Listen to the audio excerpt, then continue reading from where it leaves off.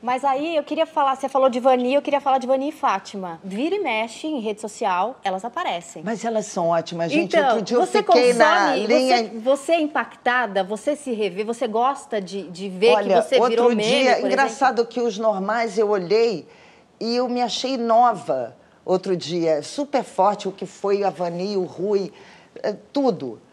Mas hoje em dia, outro dia eu fiquei olhando ali Infinita da Fátima.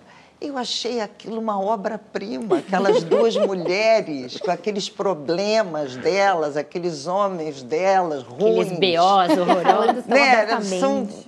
E, e é, e é incrível porque o, o Tapas, os normais, hoje não, não seria possível, né? Hoje os normais não seriam. Eles saíam assim, i- iam, iam namorar ou ia trair. Não era nem trair, não tinha essa coisa. Eles iam encontrar o vizinho.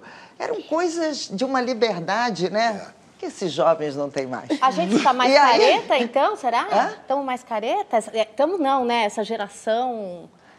Isso, ai, gente, é tanta coisa. Eu acho que quando a gente, quando eu era nova, a gente achava que a opinião pública era a Zona Sul, que o que existia no mundo ia e eu lembro que assim, como era a ditadura militar, a coisa mais importante que existia era a liberdade. Então era liberdade na escola, os filmes todos eram libertários, o negócio do, do a droga era libertária, é, o, o- o ruim era proibir. E nós crescemos com isso. Só que aí o mundo mudou muito desde a última vez que eu saí. O que antes era a droga libertária lisérgica para abrir a mente virou uma indústria armamentista. Então, o cara da Zona Sul libertário que subia o morro e era amigo do, do pessoal, pra... ele, de repente, o morro se armou. É, e o consumo já passa a ser uma coisa meio esquisita, meio alienado de uma, de uma classe privilegiada, libertária, às custas. E aí até tem a questão evangélica que eu falei no coisa que eu dizia que não gostava de crente, jamais repetiria isso hoje, porque os evangélicos ocuparam o lugar onde o Estado faltou. Se você me perguntar, eu, eu acho triste que demonizem as religiões de origem africana. Isso eu acho uma coisa triste no Brasil e, e lutaria por uma por uma, um culto evangélico que fosse sincretista. Eu amaria isso. Mas você. E essas pessoas vieram com um discurso moral, dizendo assim: cara, é que isso até está no fim, cadê teus amigos, Neto? Teus amigos podem beber, podem fazer tudo, porque eles não são presos.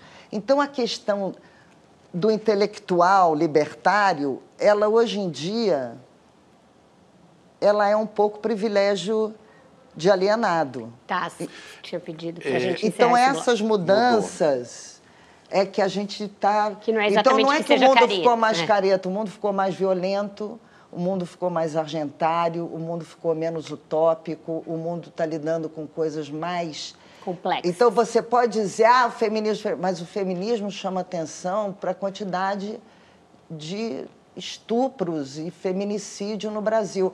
Então eu, como branca, ali eu posso achar que isso não sei o quê, mas quando isso chega.